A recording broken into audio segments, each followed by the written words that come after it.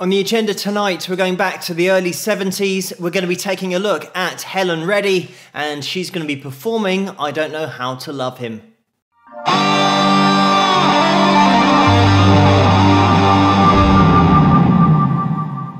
Hello, Phil here from Wings of Pegasus, and welcome to another analysis video. First of all, thank you everyone for the messages requesting this video tonight following the sad news that Helen passed away at the end of last month. We are going to watch this the whole way through. We'll then get into the analysis and we'll also cover her history and career at the end of the video as well. So let's get Helen up on screen and see how she gets on.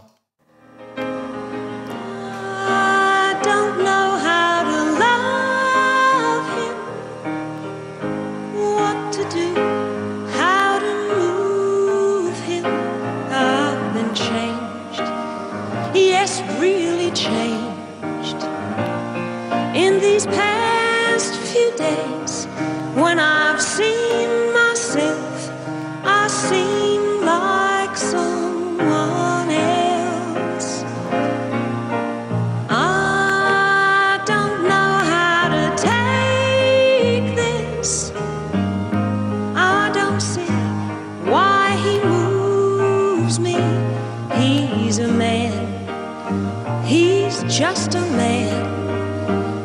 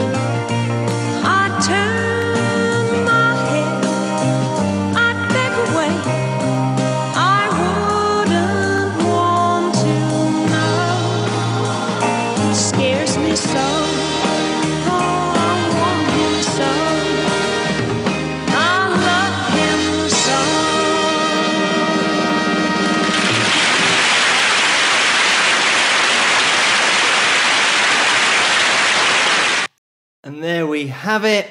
This performance and this song is where it all started for Helen because this is originally from the Jesus Christ Superstar musical written by Andrew Lloyd Webber and Tim Rice. And it is so demanding from a pitch perspective vocally. And this is the thing about Helen, when she's performing it, you don't take that in at all because of the ease with which she's hitting these notes and her accuracy pitch wise is so impressive throughout this whole performance and in everything that she sang because she didn't have that dramatic vibrato, which sometimes in musical theatre and especially in opera, and it depends how you want to classify Jesus Christ Superstar as a rock opera or a musical, but having this delivery that is usually a little bit theatrical because of the nature of what's being performed on stage, Helen didn't have a wide vibrato. She didn't have a wide pitch being covered, so it meant that she had to hit the notes right between the eyes, and then you can hear a tiny bit of vibrato within the note, but she's not changing the pitch of that note dramatically. So it meant that if she wasn't dead on the whole time, it would start to grate. It would be so obvious because of her stylization, the way that she sang. But here, you get such an appreciation of the way that she hits that C5 in the verse. Another thing to mention about this composition are these random, seemingly random jumps. Of course, they're not, they're all in key, they're all on pitch, but vocally approaching this, jumping up to a C5 in the verse. It's something that you're not expecting. This is something that happens all the time in musical theatre and opera. The people who are writing the compositions aren't singers. They're not writing this with a mind to a singer's range and whether it's easy to sing or difficult to sing. And Helen here hasn't written it herself. She's not keeping the notes within her range and making sure it is doable. These guys that write these compositions just write it, want all these particular notes, and then expect a singer to deliver it night after night and perfectly on pitch. And not every singer can do that. It needs a lot of talent in order to nail a song like this, especially with such dramatic jumps in pitch. And it is something I mentioned on my Julie Andrews video with the sound of music. Having this octave range just in the first verse is something that in more contemporary or popular music that you'll find in the charts, you'll only ever really get an octave jump from the verse to then the chorus. You'll never have an octave in that first line of a first verse or just in the first verse in isolation. The other thing Helen had in her voice was that tonal consistency throughout her range and such clarity throughout her range as well. We're going to be listening to a part of the song that includes the high note of the song. It's a C sharp 5. Not that you'd notice because Helen hits the notes with such consistency and such clarity. Listen to her head voice in this particular phrase and also just take in how easy she makes it look, considering it is the high note of the song. But the phrase is, I never thought I'd come to this. Let's have a listen.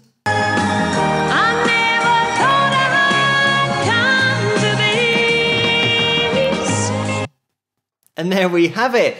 It is so consistent, that whole vocal phrase, that you're not ever thinking about Helen straining to hit the high note of the song. It just flows, and you can really hear the accuracy in pitch. Obviously, no auto tune here. We're talking about the early 70s, but this is how they did it back then, hitting these notes right between the eyes.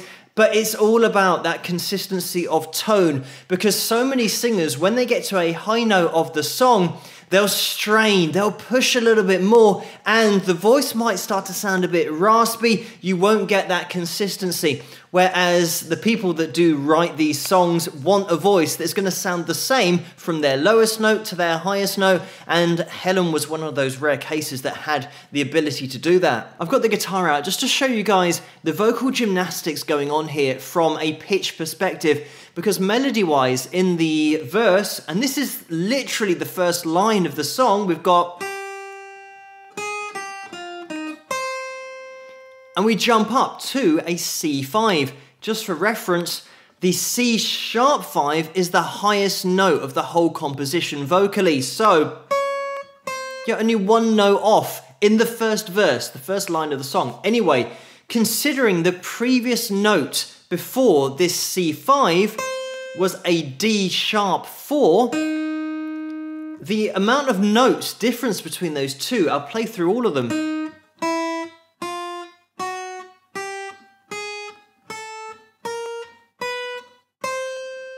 And there you have it.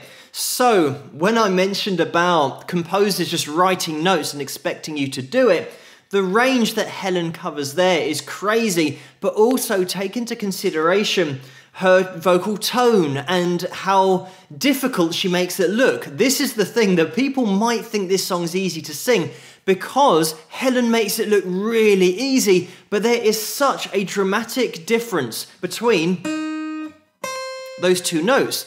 And you might have some singers that might go, I don't know how to love it. And they have to force out that C5 because it is so high. And this is where you get a real appreciation of Helen's ability. Again, I've cued the video to a very particular point because I want to point out something about Helen's breathing and her diaphragmatic breath that she's taking, the support that she's got in her voice in order to hit these notes with such clarity and be able to sometimes put air into the sound if she wants to as well, because she is taking a breath from her diaphragm. She's pushing it way down there, and you'll get to see the diaphragmatic breath from the side on shot that we get. The first one, you'll see the top of what would be her stomach, if you're looking at the abs, is going in, and the bottom part of her stomach just pushes out because when you're singing with correct technique, that's what happens. It's almost like your belly expands. You don't see the chest and the lungs go and go up and out. It's all in the lower half. So look out for this. Helen, even though she's making it look really easy vocally, you won't notice this and you rarely get to see this, but because she has a very slender figure and has a tight dress on, it means that you can see her stomach moving and not her chest moving when she's breathing, which is essential for great singing. So let's have a little look at this and just look at that stomach. Should I bring him down? Should I scream and shout? Should I speak of love?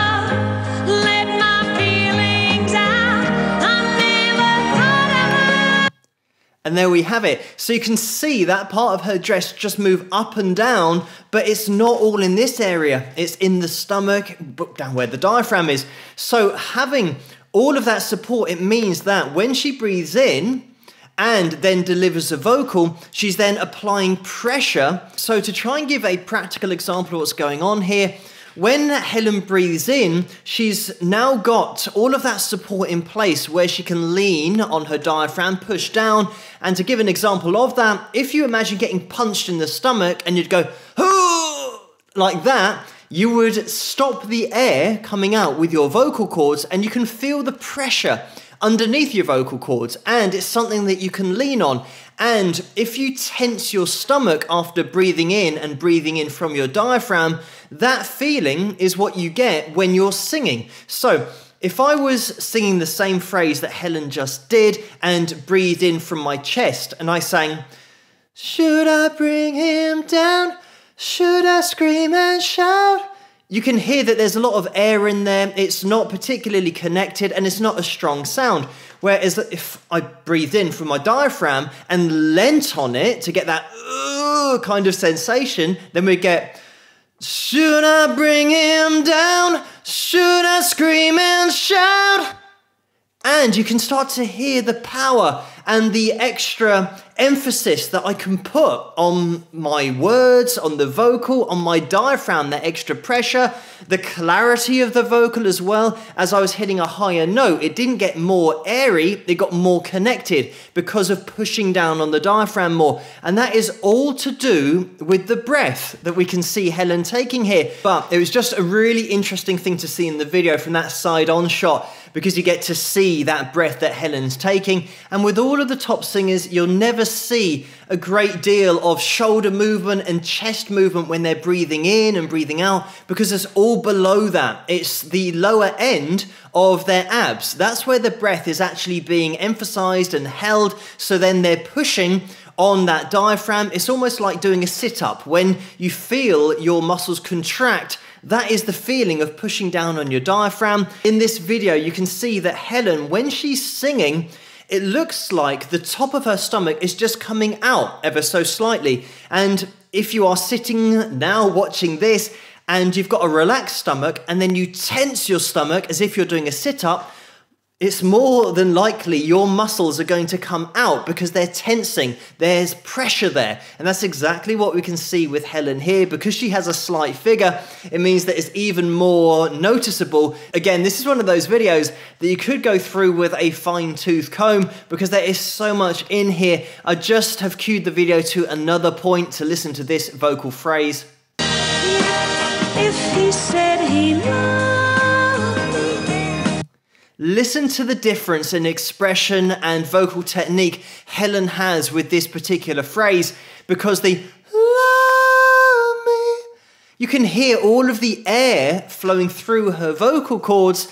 Whereas previously she's been really connected, so it means that she's got that ability to give you so many different forms of expression with her voice but also just with the technique of having that diaphragmatic breath and leaning on the diaphragm if she wants to to get that really connected sound, but then also just relax a little bit and allow more air through the vocal folds in order to get this difference in expression. But again, so easily done, seemingly by Helen. It's not easy to do at all.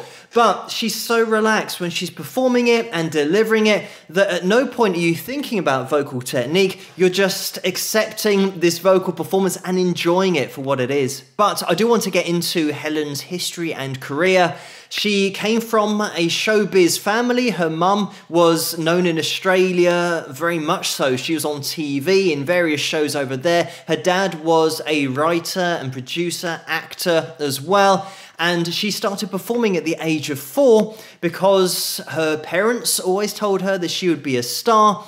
And it's something that Helen didn't really want in the beginning, and she would rebel against this and want to be a housewife and not be a star at all. When she was 12 years of age, she went to live with her aunt because she's performing with her mum and dad. They were doing nationwide tours and they were very much together in a professional capacity and constantly working, and there were arguments. So, Helen went to live with her aunt, and it's where she said she gained her stability, her sense of morality, and her strength. So, this rebellious streak that Helen had culminated in her getting married at the age of 20 and having a kid at that age as well. Unfortunately, divorce followed very soon after that, and she realized now she had to make some money. She was a single mother, and she started to really focus on singing. She performed on radio and on TV and on Bandstand, which was a TV show that was a talent show. The first prize for that, which she won, was a trip to New York in order to record with Mercury Records. And when she got there, unfortunately, she'd been told as part of the competition that she'd be recording a single, whereas they told her that it was only an audition that she'd won, and unfortunately, her audition wasn't successful. So she had $200 and her return ticket home to Australia. But she thought that she would stay in New York with her three year old and try and pursue a singing career. So Helen started performing in the USA, but unfortunately she didn't have a work permit, so she would regularly travel to Canada, where as a citizen of a Commonwealth country, it meant that she could perform there and earn money from it because she didn't need a work permit there. When she was back in the USA at a party that she was hosting, she met Jeff Wald and they were married within three days of meeting. So it meant that now Helen could perform in the USA and earn money from it. Jeff would also become her manager, and they still didn't have a lot of money at this point. Jeff then got a job as the talent coordinator at a nightclub called Mr. Kelly's, which did open a few doors because it meant now Helen could get booked at Mr. Kelly's and start to perform regularly there and other venues in the USA. Helen started to get attention from her performances at Mr. Kelly's, but also other local lounges, and it was in 1968 that she signed to Fontana Records. And this was part of Mercury Records at the time, the record label that she had already auditioned for and failed. So they recorded One Way Ticket. And that didn't do really well in the USA, but it did get to number 83 in the charts in her homeland, Australia, and it was her first ever chart appearance. After this, they relocated to LA, and Jeff was hired and fired in the same day by Capitol Records, and I'm not sure as to why that was. But in 1969, Helen was studying at university parapsychology and philosophy, and Jeff was starting to have some success managing Deep Purple and Tiny Tim. And Helen said to him, What are you doing spending all of this time on those bands? You should be focusing on me and my career. And she said, Either start focusing on me or you're out the door. So he did. And he really threw himself into it and contacted Capitol Records by phone consistently for five months. And they eventually agreed to allow Helen to cut one single. And the conditions of that were that Jeff had to promise to not call them for a month because he was just constantly calling them. So, for that one single, she recorded I Believe in Music, which was written by Mac Davis. And sadly, Mac passed away recently, and I did do a video on Mac if you want to check that out on this channel here. Also, the B side of that single was this song, I Don't Know How to Love Him, and it got to number 13 in the charts, so it was her first big hit in the USA. And in 1972 is when she released I Am Woman, which turned into her first number one in the USA, making her the first female artist from Australia to ever get to number one in the USA, so she made history. But also, that song won a Grammy and it really hit a chord with women across the world and became a huge part of the women's movement at that time. So, over the next five years, she had a multitude of top 40 hits. In 1974, she received her star on the Hollywood Walk of Fame. She was headlining in Las Vegas, having artists like Barry Manilow opening the show for her. Also, she helped one of her good friends, Olivia Newton John, move over to the USA and it was at a party that Helen was hosting that she met Allan Carr. And Allan just really liked Olivia. And Allan was making a movie at the time. If you don't know who he was, he was a film producer. And the movie was Grease that he was working on, looking for a female lead role in that. And it just so happened that he met Olivia at Helen's party. And that's how that all got started. She had huge success throughout the 70s, including eight number ones on the easy listening charts. In 1983, she recorded her final album with MCA Records, and that was called Imagination. In 1990, she released Feel So Young, and that was on her own record label that she'd set up at that point. In 1997, she released Center Stage, and in the year 2000, she released The Best Christmas Ever, which was obviously a Christmas album. In 2002 is when she did announce her retirement. In 2015, she performed a cover of All You Need Is Love, and that was for the Keep Calm and Salute the Beatles album. She appeared a lot on TV as well, hosting her own TV special in the USA in 1979. She was a Golden Globe nominated actor as well, appearing on TV and film in the 1980s. She performed on Broadway as well as the West End here in London. So, such a multi skilled artist and performer, and could pretty much turn her hand to anything. Sadly, Helen did pass away at the age of 78 on the 29th of September 2020. But it's great to have a look back at Helen in full flow here, right at the beginning of her career, with the song that was her first real hit, getting to number 13 in the charts. And from then on, she just went from strength to strength. But thank you guys so much for asking for this video tonight and also requesting this video for me to take a look at. Keep the suggestions coming in the comments below. Let me know what you guys think, and I'll see you guys at the next one.